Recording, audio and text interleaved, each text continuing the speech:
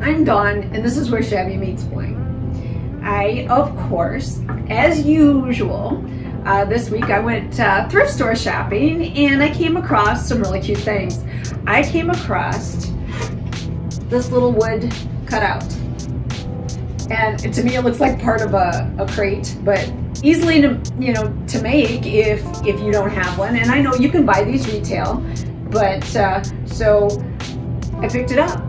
I thought Valentine's Day is on its way and it looks a little rustic, but I thought I could glam it up, do something French country or cottage farmhouse chic with this little number.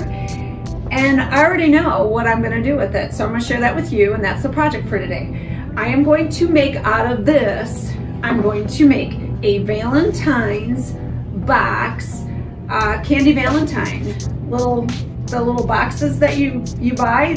Most of them are, are cardboard now, but this one was a cute little metal one I picked up. I'm also gonna do something fun with this. But I am going to make the, the Valentine candy heart box out of this. This was actually a scrap a piece of wood off of a pallet and I'm gonna just trace it, cut it out, and then we'll have our lid. I'm gonna take my original piece that's gonna be the, the actual bottom. I'm gonna flip it upside down and I'm just gonna trace it on this scrap wood. I'm gonna find where there are no holes you can see. This is a scrap, but I'm telling you, I keep all my scraps of everything. And we'll cut out the lid. Let's see if I avoided all the holes. I did, yay!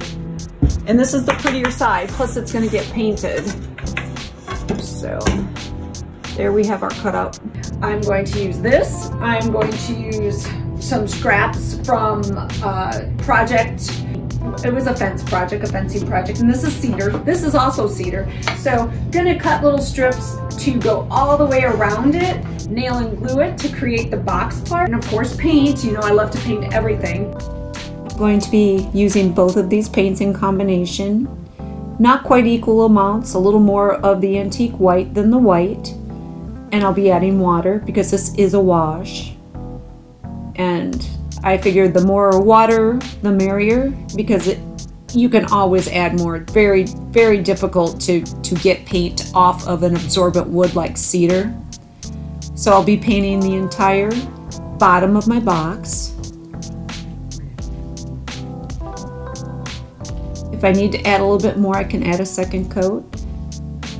And I'm gonna paint the inside only of my little wood cutouts that are gonna be the perimeter of my box. Now that my base has been whitewashed, now it's time to attach the little side pieces on. And these will go all along here and I'll paint this side and the tops after they're all attached. But they will go all along the outside and I'm going to glue them with a good wood glue. And I'm going to use this sweet little gadget. Uh, it's called a pin nailer and this is what the pin nails look like. So got to get it in there nice and straight when you use this thing, but boy, it'll hold, hold just perfect when uh, the glue and the pins are in place.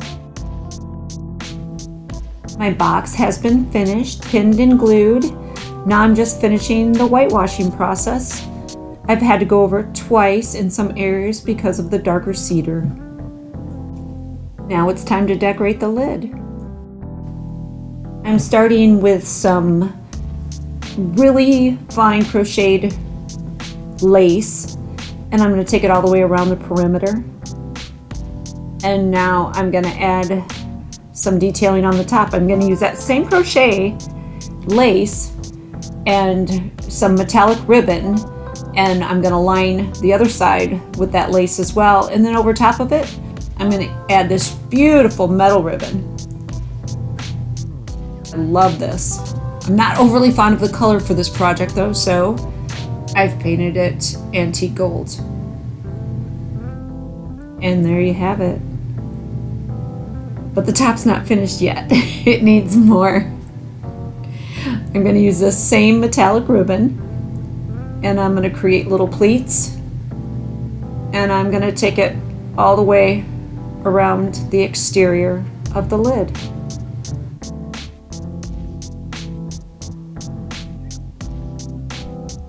There it is. But guess what? I'm still not done. I'm going to create a bow and I'm going to use the same metallic ribbon and metal ribbon to create my loops. And I'm just going to fold them over and I'm going to create five loops. I've also made a metallic rose to go in the center out of that same metallic ribbon. I'm gluing the sides of the metal ribbon and just laying the metallic over top and then folding them over to create my, my loops. If you notice, I have cut the inside of my loops into little points so they fit together really nice, almost like a, like a pie. And I have added a metallic bow underneath for a little more dimension. And I'm hot gluing everything into place.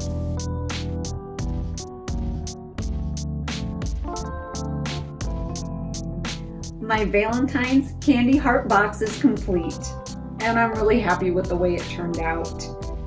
I did add a couple of other little things to bling it out even a little more. I created some leaves out of that same metallic ribbon as well as an inner bow and I added some ivory rhinestones. But it is done and here we have it.